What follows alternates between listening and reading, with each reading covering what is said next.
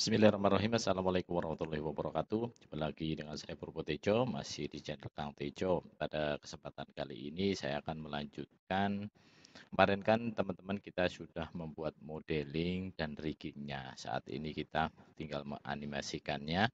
Kita akan membuat uh, si skala jengking atau scorpion ini berjalan sebagaimana dalam video ini ya. Oke, langsung saja teman-teman. Kita close saja kemudian kita setting dulu ini uh, posisi apa gerakan kakinya dulu. Kita lihat. Oh ini kemarin sudah disetting ya teman-teman. Tapi masih sama semua. Oke. Ini masih sama semua. Yang yang perlu kita setting adalah ini satu dengan yang ini itu sama.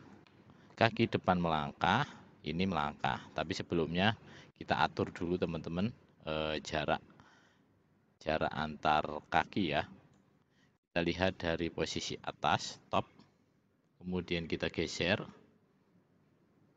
Oke, yang ini yang belakang juga akan kita geser.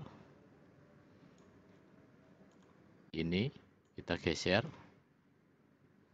Uh, mungkin perlu sedikit lagi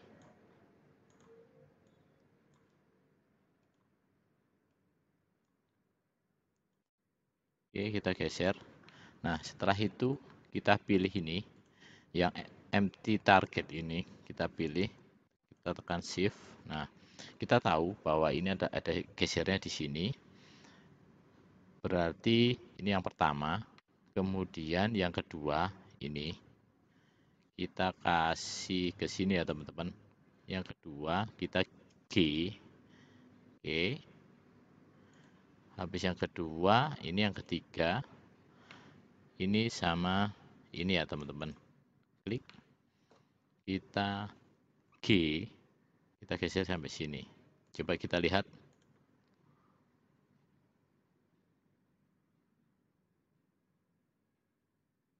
Ulangi lagi.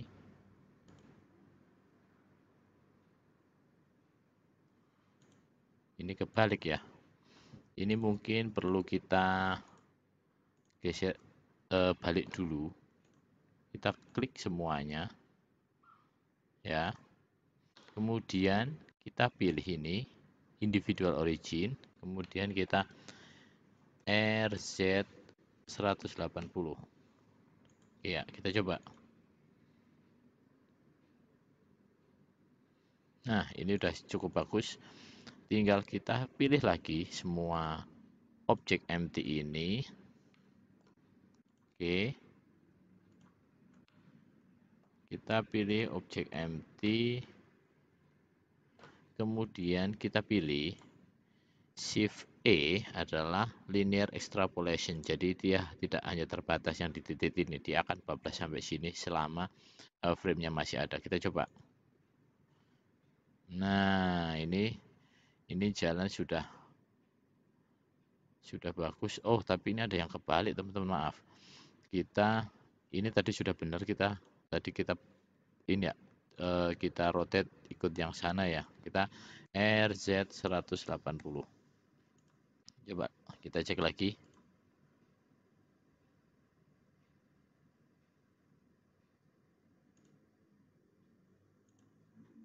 Ini coba dulu RZ 180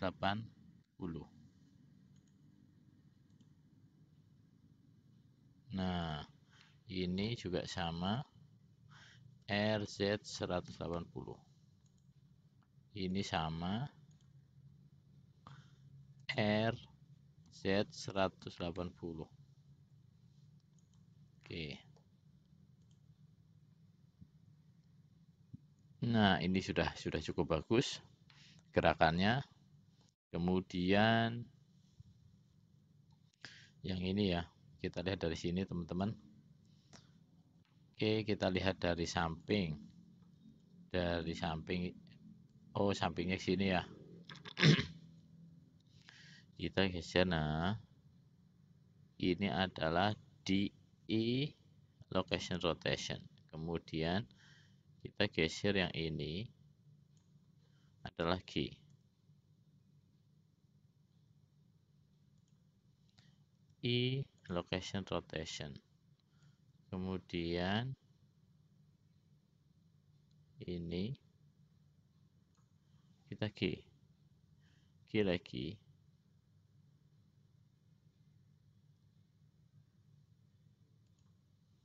I location rotation coba kita lihat. Dari sini.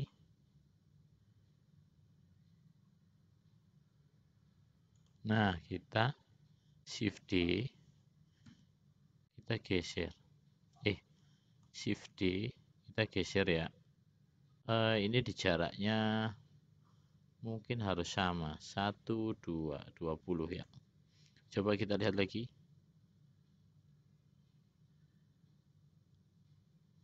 nah ini juga sama.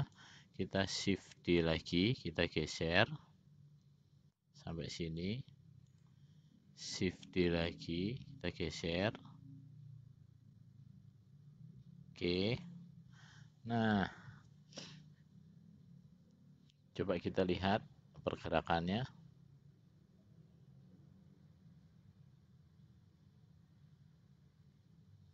Oke kemudian ini.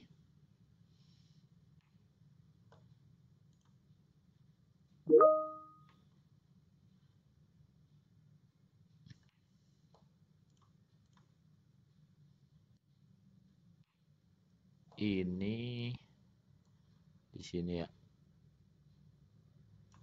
Nah ini geser sedikit i dulu. Kemudian 40 agak G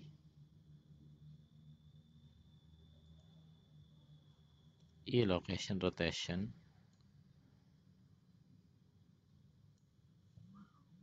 G lagi I. Location rotation. Oleh shift D. Kita kesinikan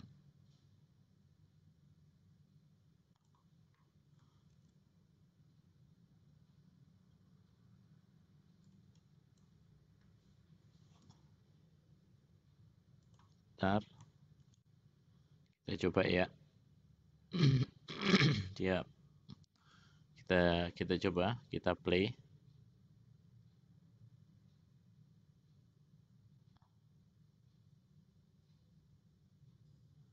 Nah, ini sudah cukup lumayan.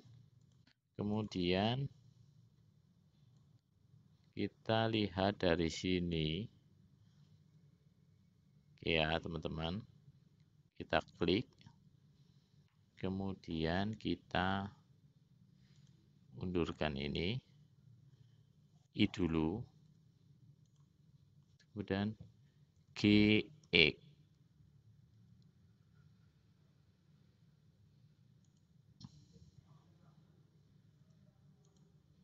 eh.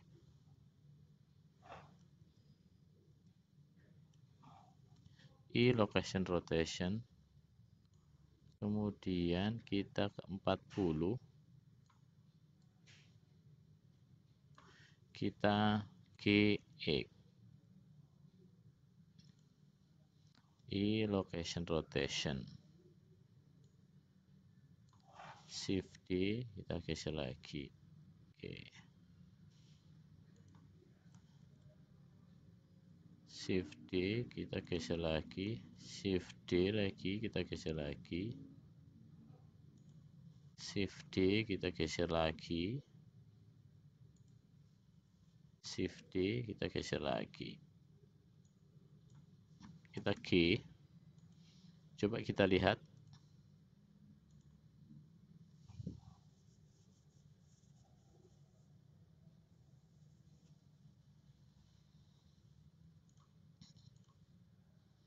Setelah itu kita taruh di sini kita ini i location rotation. Kemudian sini. Geser ke belakang. Segini. I location rotation. Kemudian kita shift D kita geser.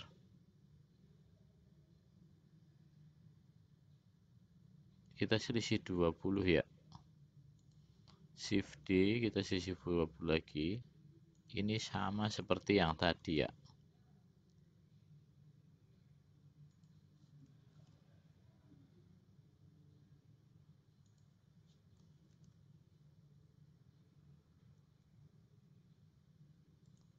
Oke, kita lihat.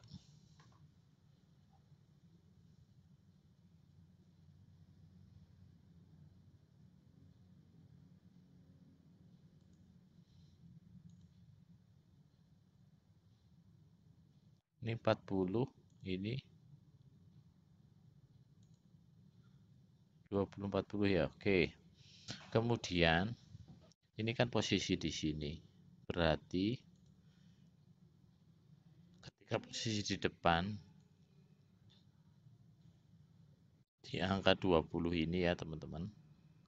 Di angka 20 kita masuk pose mode ya di angka 20 kita RZ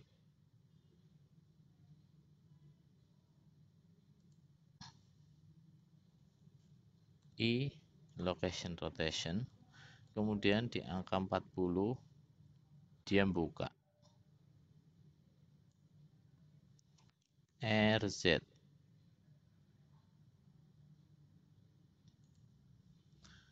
I location rotation. Coba shift D geser. Kita ke geser ke 60 shift D sama. Shift D lagi. Shift D lagi. Shift D lagi Oke, kemudian yang ini sama. Tadi ini posisinya di angka 30 ya, teman-teman. Nah, 30 ini kita masuk ke pose mode, kemudian kita klik ini. Kemudian nah, pose mode, kemudian I dulu, I location rotation.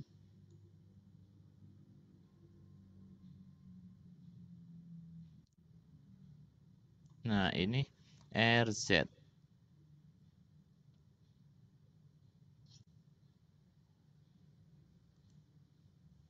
I location rotation, kemudian ini sampai 50 kita buka.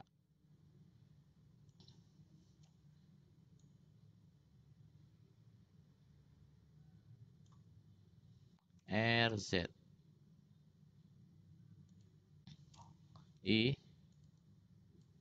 i location rotation. ah maaf Ctrl Z. i location rotation. Kita shift shift D shift D shift D shift D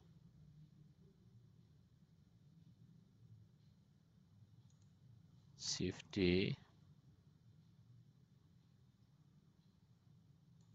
oke kita lihat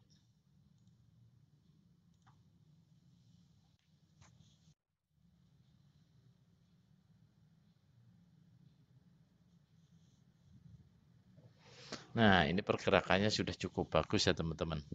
Nanti nanti tinggal berarti kita adalah membuat uh, backgroundnya ya. Kita simpan dulu, oke? Okay? Kita simpan dulu.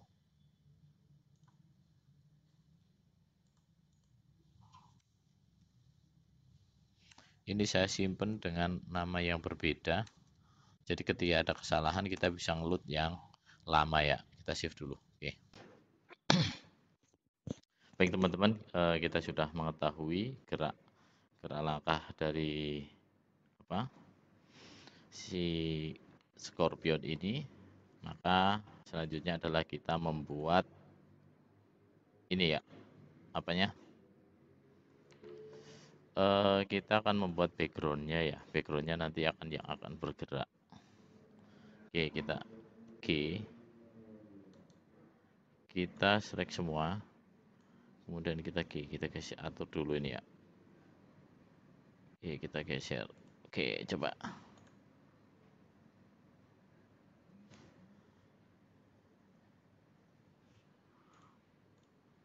Nah, kemudian kita add, kita plane. Nah, ini kita scale. Setelah kita scale, ini kita scale lagi. Yang luas, kemudian edit mode, kemudian kita R,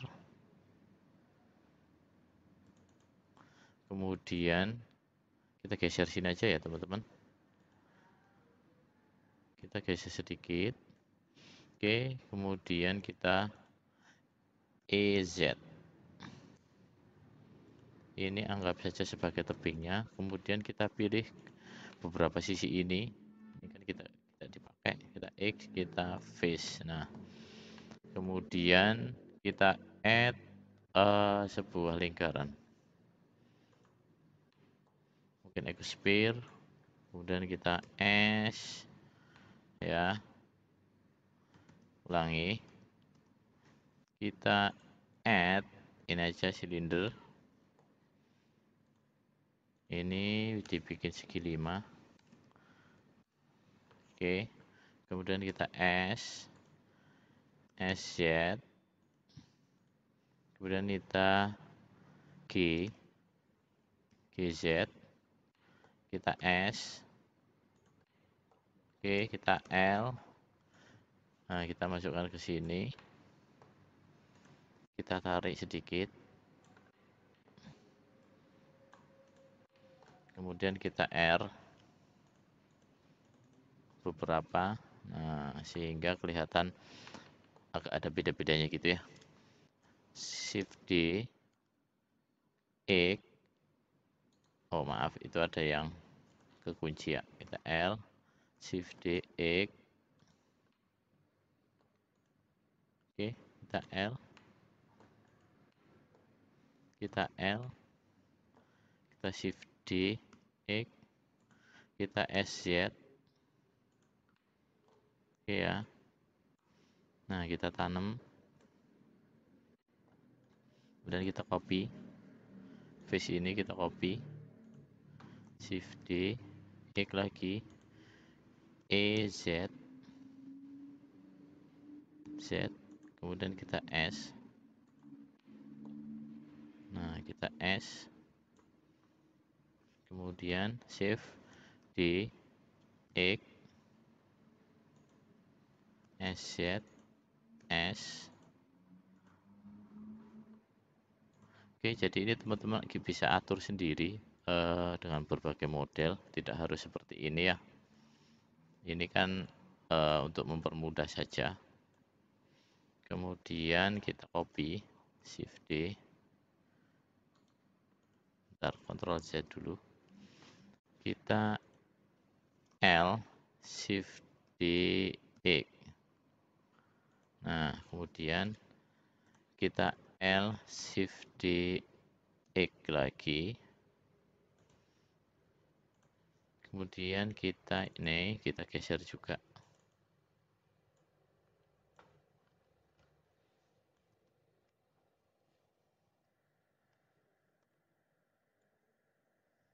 ada dua. Ini SZ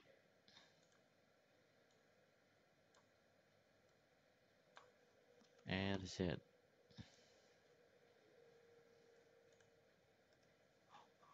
RZ oh maaf ini ada yang keklik ya. RZ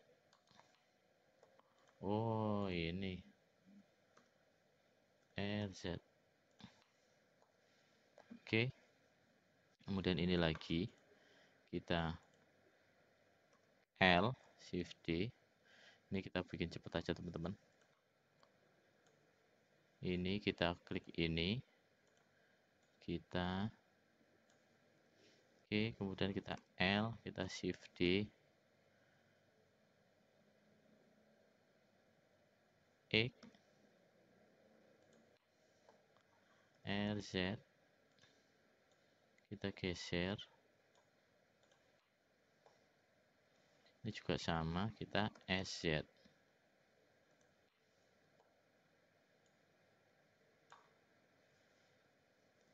kita R. Kita eh kontrol R.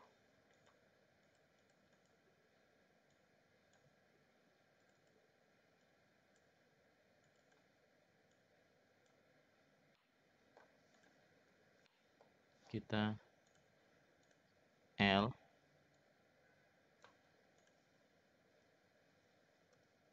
Shift D. Kita klik L shift D X. Kita pilih ini ya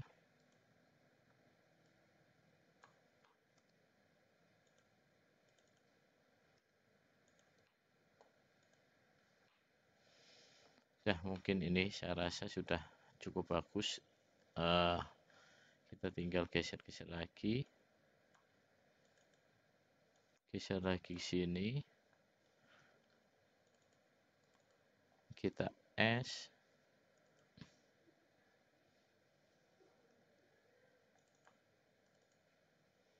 R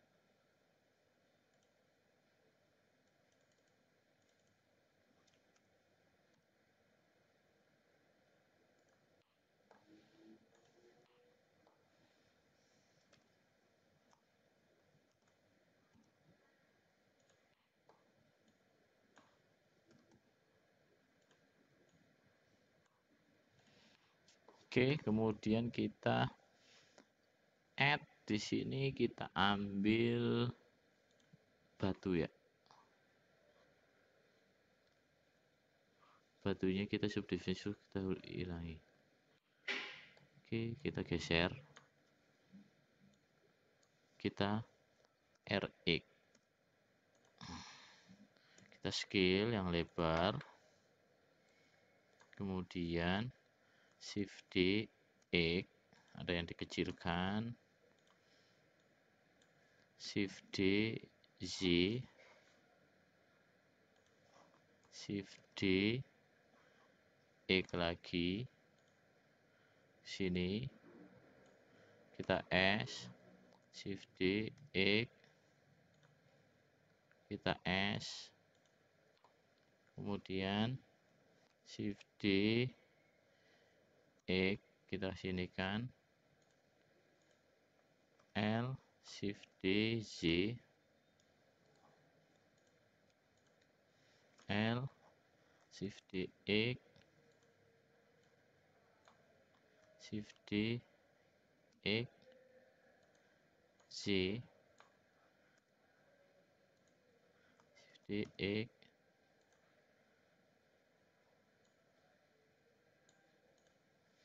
Nah, ini saya rasa sudah cukup bagus. Kita lihat dari sisi kamera, view, kamera to view. Kita pun, nah, oke, kita lihat di sisi ini ya, display ya. Kita samakan 1920 1920. Nah, kita matikan dulu. Oke kemudian kita matikan kamera to view kemudian kita kasih warna kamera ininya backgroundnya kita kasih warna agak kecoklatan seperti gurun pasir gitu ya. Sip. Kemudian kita lihat di sini.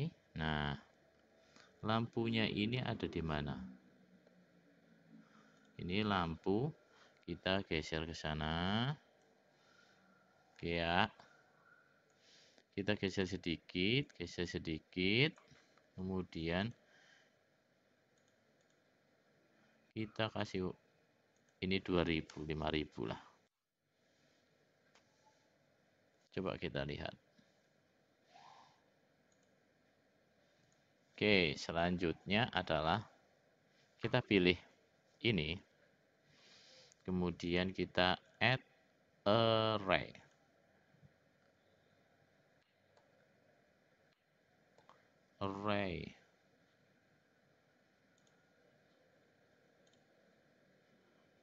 oh ray-nya ini harus dikurangi.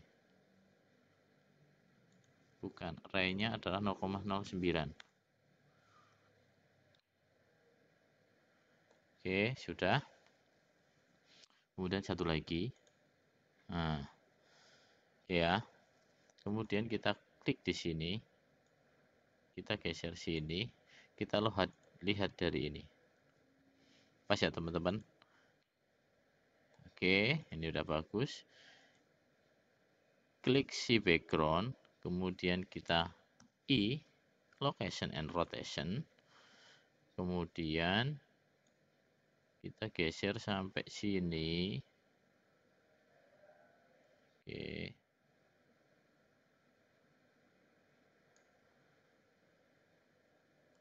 Kita geser sampai akhir aja deh. Biar panjang.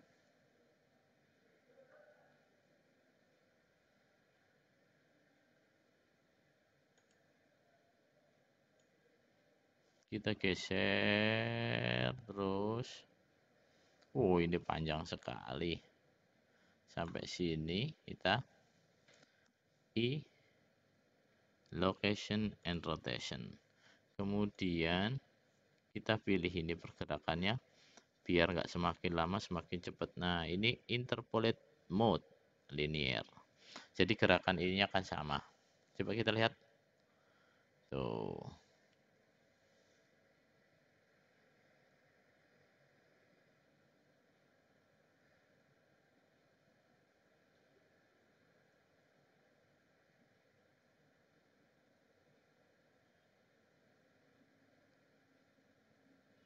Oke teman-teman, uh, demikian tutorial animasi dari Scorpion yang seolah-olah berjalan. Semoga bermanfaat. Jangan lupa ikuti channel saya terus. Assalamualaikum warahmatullahi wabarakatuh.